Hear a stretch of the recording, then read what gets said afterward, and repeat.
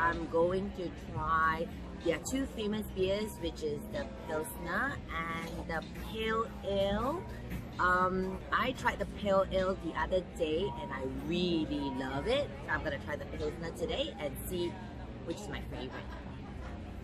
This is the Pilsner.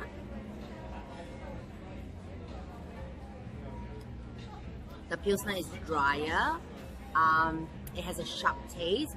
The finishing is really nice. Um, this is the Pale Ale.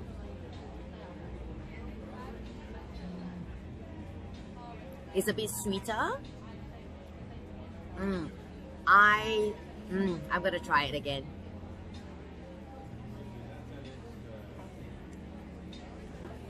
And the Pale Ale.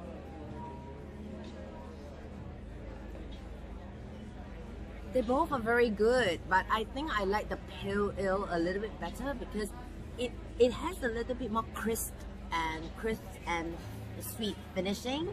So Pale Ale is my choice, but really Pilsner and Pale Ale is the most popular beer. So cheers.